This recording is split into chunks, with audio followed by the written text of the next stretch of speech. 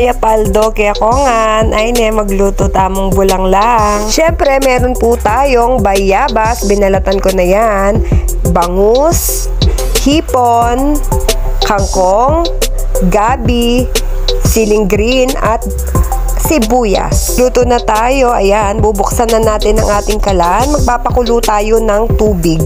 At syempre, lalagay na natin ang ating bayabas. Ayan, papakuluin natin mabuti ito. Pagkulo nito, ilagay na natin ang gabi. Ayan. Kasi matagal itong lumambot, so siya ang una nating ilalagay. Lagay na rin natin ang sibuyas and then takpan natin, pakuluing mabuti.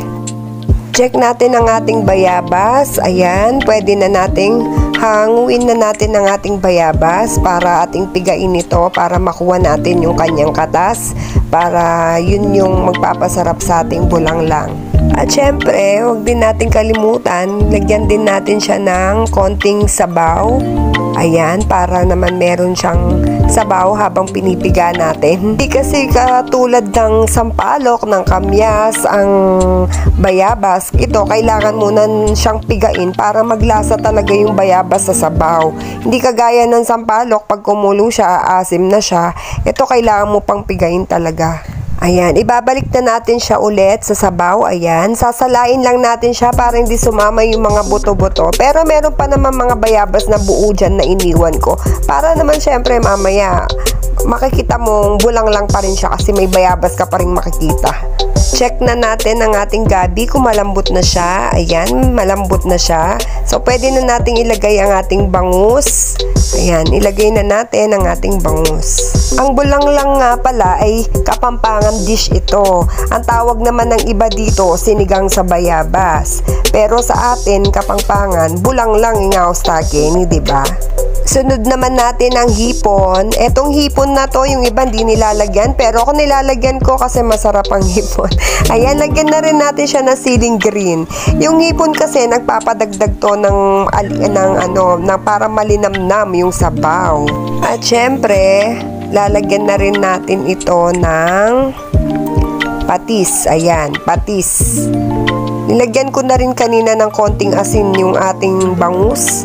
Pero, syempre kailangan pa rin lagyan ng patis para magkalasa. Magic Itong dish na to, hindi ko siya laging niluluto. Madalang lang. Siguro every, sa isang buwan, siguro, or dalawang buwan, isang beses lang. Ganon. Depende kasi sa bayabas. Mahirap kasing maganap ng bayabas At syempre, lagay na rin natin ang ating kangkong para pagka luto ng kangkong, luto na din ang ating bangus, 'di ba? At yun na nga, nagsimula ang bulanglang na ito kasi sa likod ng bahay namin may mga tanim kaming bayabas, eh sobrang daming hinog. Kaya kinuha namin dalawa ni Lian. Kaya naisip ko, sabi ko, ano kaya magluto tayo ng bulanglang? Tsaka yun, matagal na rin kasi akong di nagluluto ng bulanglang para maiba naman, para hindi puro sinigang. Magbulanglang naman tayo. Ayan. Tinitikman ko na siya dyan. O, ba? Ang galing ko talaga magtansya-tansya pag nagluluto. Laging perfect.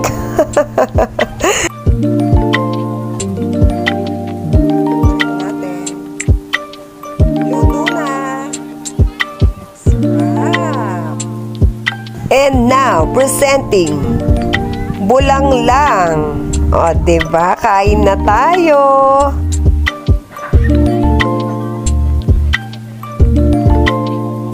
Yun na nga, as usual, kasama ko na naman ang aking mga Junakis.